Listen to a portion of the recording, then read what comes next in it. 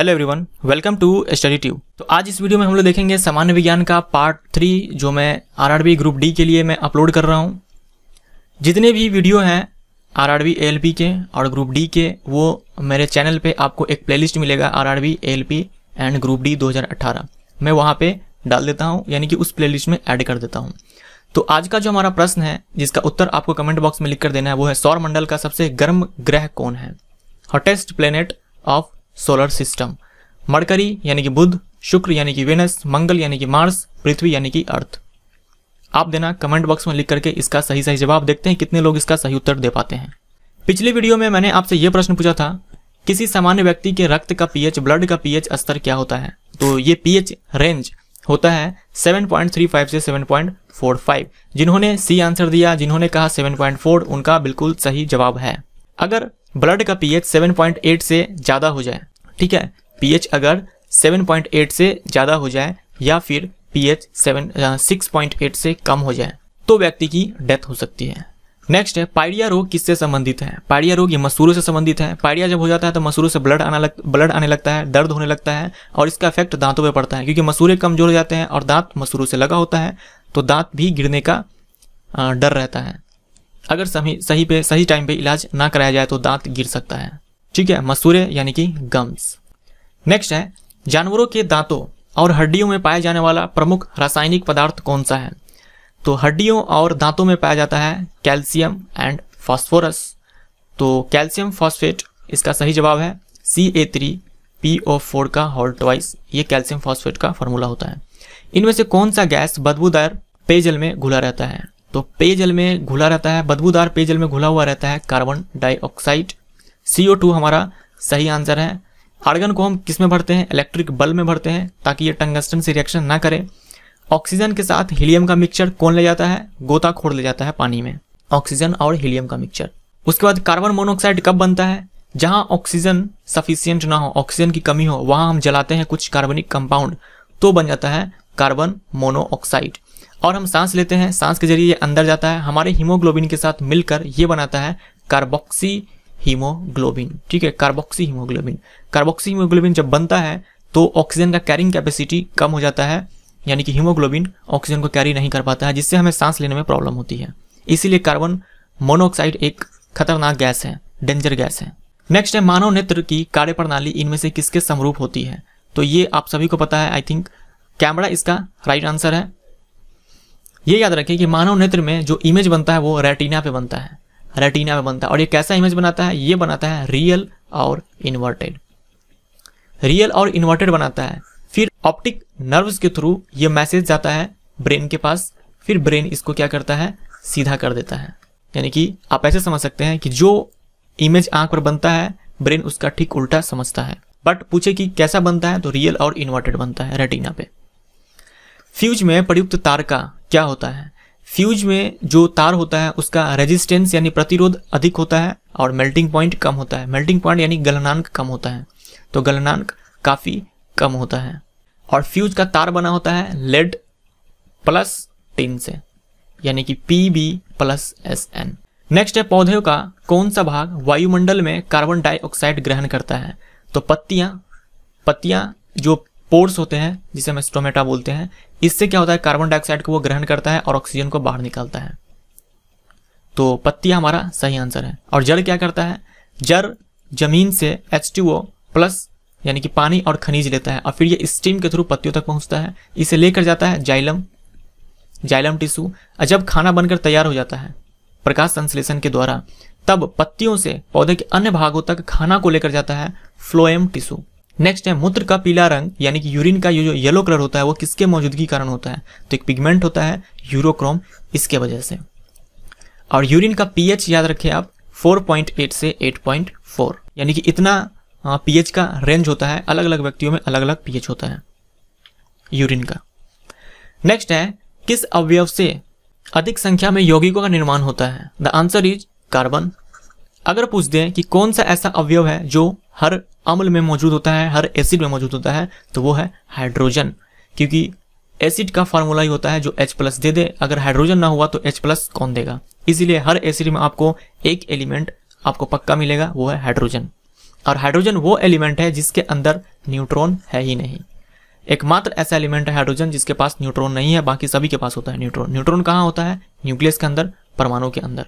Tenth है, वस्तुओं का आवेशन किसके स्थानांतरण के फलस्वरूप हो गया? जब हम बोलते हैं कोई वस्तु प्लस चार्ज है, किसी वस्तु पे प्लस चार्ज है, किसी वस्तु पे नेगेटिव चार्ज है, इसका मतलब ये होता है कि जिस पे प्लस चार्ज है, वहाँ से इलेक्ट्रॉन भाग गया और जिसके पास नेगेटिव चार्ज है, उसमें इलेक्ट्रॉन आ गया। तो इलेक्ट्रॉन का आना जाना लगा रहता है प्रोटोन कहीं नहीं जाता न्यूट्रॉन कहीं नहीं जाता, वो नाभिक के अंदर रहता है। तो कभी आप प्लस चार्ज देखें तो ये मत समझना कि इसमें प्रोटोन आया है, ठीक है? प्लस चार्ज है मतलब इलेक्ट्रॉन निकलकर बाहर गया है। तो इलेक्ट्रॉन के ट्रांसफ़र कारण स्थानांतरण के कारण ही आवेशित होता है कोई वस्तु। नेक्स्ट है, गिरते हुए जल से उत्पन्न बिजली को क्या कहा जाता है?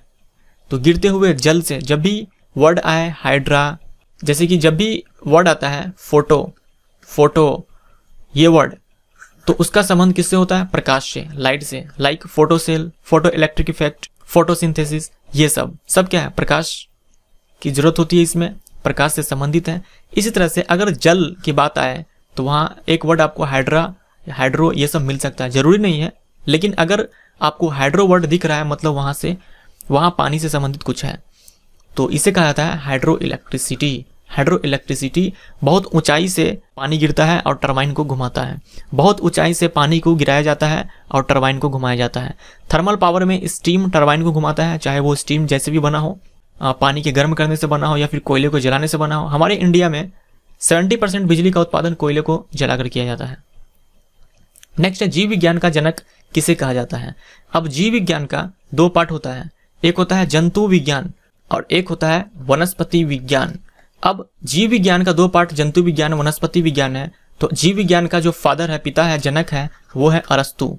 तो वनस्पति विज्ञान और जंतु विज्ञान का भी फादर होना चाहिए, जनक कहा जाना चाहिए? लेकिन ऐसा नहीं है। जब भी पूछे, जीव विज्ञान का जनक कौन है, जंतु विज्ञान का जनक कौन है तो अरस्तु अरस्तु को टिक करेंगे और वनस्पति विज्ञान का पूछ दे, बॉटनी का पूछ दे तो हम थियोफ्रास्ट को, थियोफ्रास्टस को टिक करेंगे। ठीक है? यानी कि बोटनी फादर ऑफ़ बोटनी पूछे तो थियोफ्रास्टस को। नेक्स्ट है, वनस्पति में पानी के स्थानांतरण के लिए यह कोशिकाएँ जिम्मेदार होती है। अभी मैंने जस्ट आपको बताया, जाइलम हो जाएगा, पानी के स्थानांतरण के लिए, खनिज के स्थानांतरण के लिए। और खाने के स्थानांतरण के लिए फ़ूड के स्थानांतरण के लिए, खाना बनने के बाद जो पौधे के अन्य भागों तक पहुँचता है, उसे लेकर जाता है फ्लोएम एक हल्की और भारी पिंड का संवेग एक समान है। इसमें किसकी गतिज ऊर्जा अधिक है? तो गतिज ऊर्जा और संवेग में संबंध आरआरबी एलबी के एग्ज़ाम में पूछा गया था। तो ये रिलेशन होता है P square upon two M kinetic energy बराबर। अब यहाँ संवेग को बोला एक समान है तो इसे हम एक समान कर देते हैं, यानी कि ये कांस्टेंट हो गया। अब काइनेटिक एनर्जी पूरा का पूरा डिपेंड करता है द्रव्यमान पे और ये उल्टा होता है। द्रव्यमान बढ़ेगा तो कैनेटिक एनर्जी कम हो जाएगा। कैनेटिक एनर्जी ज़्यादा होगा मतलब द्रव्यमान कम होगा। तो गतिज ऊर्जा अधिक है, जिसमें जिसका पिंड द्रव्यमान कम है। तो हल्के पिंड की हमारा सही उत्तर होगा। नेक्स्ट है ऑडोमीटर से मापा जाता है। अगर आप बाइक चलाते हैं तो वहाँ आपको यहाँ पे एक स्पीड डिवाइस लगा होता है जो स्पीड बताता है। और यहीं पे लगा होता है एक डिवाइस जो आपको डिस्टेंस बताता है, जिसमें आप देखते हैं कि आपने कितना किलोमीटर गाड़ी को चलाया है। तो ये होता है ऑडोमीटर और ये होता है स्पीडोमीटर तो ऑडोमीटर के बारे में पूछा गया तो ये दूरी मापता है। नेक्स्ट है, बर्फ़ की तुलना में कंक्रीट फर्श पे चलना आसान है क्योंकि जहाँ पे घर्षण ज़्यादा होगा, वहाँ पे हम आसानी से चल सकते हैं। जहाँ पे घर्षण कम होगा, वहाँ पे हम आसानी से नहीं चल सकते हैं। जैसे कि कीचड़ हो गया, कीचड़ में पैर स्लिप करता है क्योंकि वहाँ घर्षण बल काम नहीं करता है सही से। सतह जितना ज़्यादा स्मूथ होगा, चिकना होगा, वहाँ पे घर्षण उतना ही कम होगा। तो कंक्रीट के बर्फ़ से ज़्यादा घर्षण प्रस्तुत करता है। नेक्स्ट है, एक गेंद को ऊपर की ओर फेंकने पर जी का मान। जब हम गेंद को ऊपर की ओर फेंकते हैं तो धीरे धीरे गेंद का स्पीड कम होगा और एक ऊंचाई ऐसा आएगा जहाँ पर वो पूरी तरह ज़ीरो हो जाएगा, उसके बाद वो नीचे आएगा। तो जब भी धीरे धीरे स्पीड कम हो जी का मान नेगेटिव होता है। और जब भी धीरे धीरे स्पीड बढ़े, यानी कि समय के साथ स्पीड बढ़े तो वो जी चाहे ए पॉजिटिव होता है। तो इस केस में ऋणात्मक हमारा सही उत्तर है। नेक्स्ट है, निम्नलिखित में से किसने भाप इंजन का आविष्कार किया था? तो जेम्स वॉट।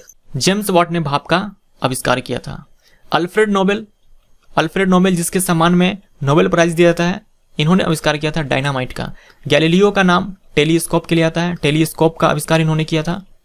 गुरुत्वाकर्षण का नियम इन्होंने दिया, गति का नियम इन्होंने दिया। नेक्स्ट है नाइनटीन निम्नलिखित में से किसने क्वांटम सिद्धांत का प्रतिपादन किया? क्वांटम सिद्धांत क्वांटम थ्योरी ये दिया मैक्स प्लैंक ने। और आइंस्टीन थ्योरी ऑफ़ रिलेटिविटी और आइंस्टीन ने एक फार्मूला भी दिया था E is equal to M C square जिसमें उन्होंने कहा था कि मास भी एनर्जी में कन्वर्ट होती है। Rutherford J J Thomson J J Thomson ये वो पहले साइंटिस्ट है जिन्होंने कैथोड रे एक्सपेरिमेंट किया था, यानी कि इन्होंने ढूंढा था कैथोड रे को। कैथोड रे का डिस्कवरी किया था जे जे थॉम्सन ने। उसके बाद इन्होंने इलेक्ट्रॉन का डिस्कवरी किया जे जे थॉम्सन और जे जे थॉम्सन ही वो साइंटिस्ट है, वो पहले साइंटिस्ट है जिन्होंने मॉडल दिया था परमाणु के संरचना का। परमाणु संरचना का पहला मॉडल जे जे थॉम्सन ने ही दिया था। भले ये कोई काम का नहीं रहा फेल हो गया रियलिटी से काफ़ी दूर था। कुछ ऐसा नहीं था जिन्होंने इन्होंने जो कहा अपने मॉडल में इनके मॉडल इनका मॉडल को कहा जाता था प, आ, प्लम पुडिंग। प्लम पुडिंग या फिर वाटरमेलन तरबूज जैसा। और कैथोड रे ये नेगेटिवली चार्ज होता है नेगेटिवली चार्ज और anode ray positively charge next है ग्लोबर साल्ट का रासायनिक सूत्र क्या होता है? Glauber salt. एक ये आप सोडियम सल्फेट देखिए सोडियम सल्फेट इसे कहा जाता है साल्ट केक। अगर इसमें हम 10 मोलिक्यूल वाटर का ऐड कर दें तो ये हो जाता है ग्लोबल साल्ट जो हमसे पूछा गया है। तो डी हमारा सही उत्तर है। यह है सिल्कन ऑक्साइड यानी कि सैंड बालू, और ये है जिंक ऑक्साइड इसे कहा जाता है चाइना व्हाइट नेक्स्ट हमारा सीने बार किसका अयस्क है? धातु और उसके अयस्कों का नाम मैट्रिक के साथ अपनी वीडियो पर ऑलरेडी अपलोड कर चुका हूँ। आप नीचे डिस्क्रिप्शन बॉक्स में जाकर देख सकते हैं। अगर वहाँ ना मिले तो चैनल पर प्लेलिस्ट बना हुआ है। R R and group D दो हज़ार अठारह के नाम से वहाँ आपको मिल जाएगा। तो सीने बार अयस्क है पारा का। एक ही सीन को बार बार देखने से पारा हाई हो जाता है, ऐसा मैंने उसमें ट्रिक बताया है। शीशा का होता है गैलेना और निकल का होता है मिले राइट। ठीक है, मिले राइट। और लोहा का हेमेटाइट, मैग्नेटाइट कई सारे होता है। लेकिन यहाँ हेमेटाइट आप इसको याद रखें।